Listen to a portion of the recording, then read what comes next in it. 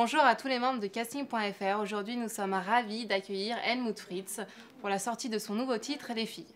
Bonjour Helmut. Salut Julia. Donc on vous a découvert en 2009 avec euh, Ça m'énerve, donc ce titre euh, dont tout le monde se souvient encore des paroles, euh, qui a fait un carton puisqu'il vous a valu un Energy Music Award et une nomination aux Victoires de la musique. C'est ça. Ça fait maintenant trois ans. Donc qu'est-ce que vous avez fait pendant tout ce temps? J'ai beaucoup tourné.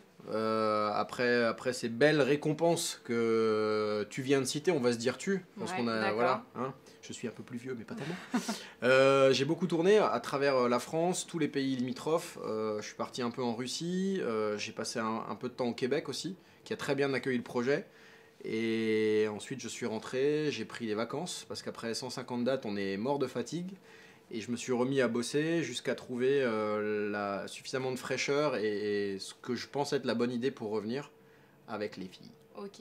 Donc, tu as fait une tournée mondiale. Ouais. Euh, est-ce que tu aurais des anecdotes ou quelque chose à nous ramener de cette tournée? Ouais, alors le, le Québec, c'est assez particulier parce que les mecs, c'est à partir du moment où tu es un artiste inter, enfin, euh, tu es mhm. français, euh, mais ils sont francophones, mais je veux dire, tu arrives de l'international pour eux, ils te traitent comme une Lady Gaga, donc ils viennent te chercher en méga limousine stretch, tu dors dans les plus beaux palaces, donc tu te prends un peu pour Bono.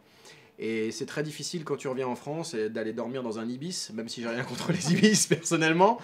Mais non, en fait là-bas il y a un côté ultra, euh, c'est très proche de, des US au niveau de, de l'esprit, donc très people, très euh, tout est voilà tout est exagéré dans l'accueil et tout. C'était assez euh, assez spectaculaire, assez flamboyant en fait. C'est ce que j'ai retenu surtout. D'accord. donc en décembre, tu as rencontré le Père Noël avec ton titre Petit Papa Noël. Oui, c'est cela. Ensuite, euh, sort en janvier ou février le teaser, donc parodiant euh, The Artist, qui annonce ton nouveau titre Les filles.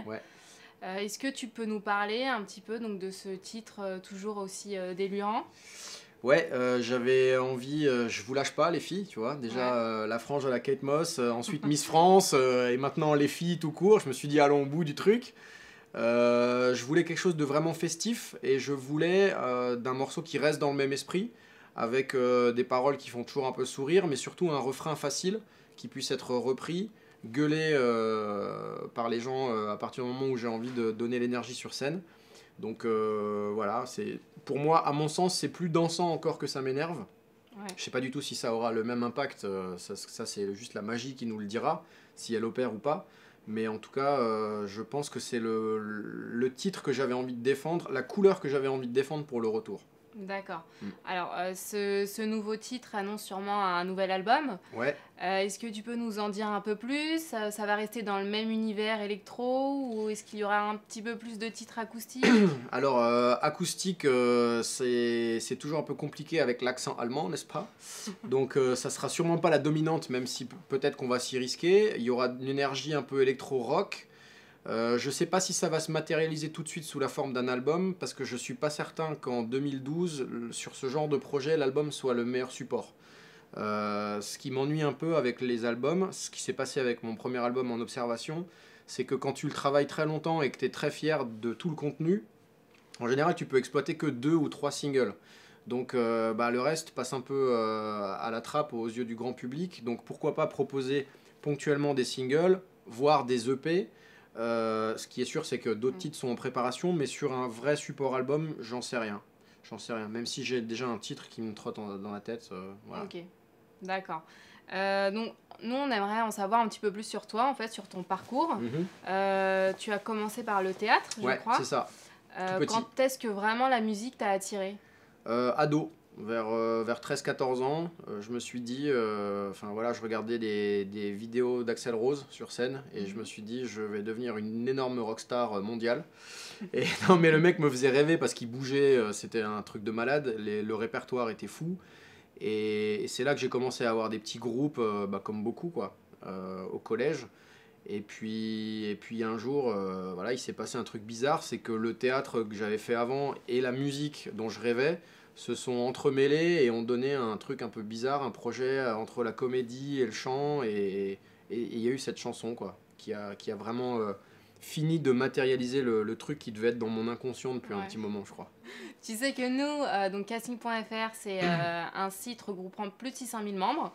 Est-ce que tu aurais quelques, quelques astuces ou conseils à donner euh, à toutes les personnes désireuses d'une carrière artistique comme la tienne? Euh, je pense que la première des choses, il faut avoir une vocation, il euh, faut avoir aussi beaucoup de conviction et il faut être très tenace de quels que soient les métiers euh, du spectacle où on veut aller. Il y a une très belle phrase de Karl Lagerfeld, n'est-ce pas? Aucun lien avec Helmut, hein, bien sûr, qui disait, en parlant de la mode, il disait ce métier est injuste. Et je pense que c'est valable aussi pour la musique, c'est valable pour le cinéma, c'est valable pour le théâtre, c'est valable pour... Voilà, c'est injuste, c'est-à-dire que c'est pas forcément toujours ceux qui ont euh, le plus grand talent qui vont être choisis. Euh, c'est ceux qui auront bossé, c'est ceux qui seront au bon endroit au bon moment, c'est ceux qui, euh, qui auront vraiment de la persévérance, mais aussi le petit coup de bol final. Donc il faut, il faut y croire, il faut jamais lâcher.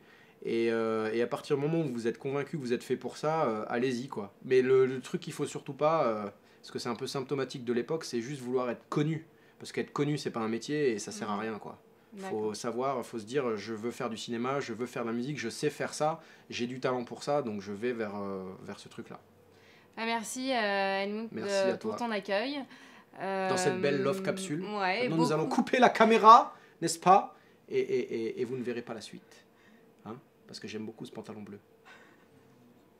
Beaucoup de succès en tout cas pour ton nouveau titre. Merci et euh, plein de bonnes choses. Merci à toi. Dankeschön.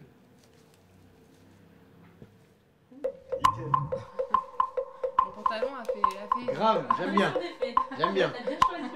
Ce bleu clin, c'est le bleu clin dont parlait tellement Chirac, tu sais. Merci.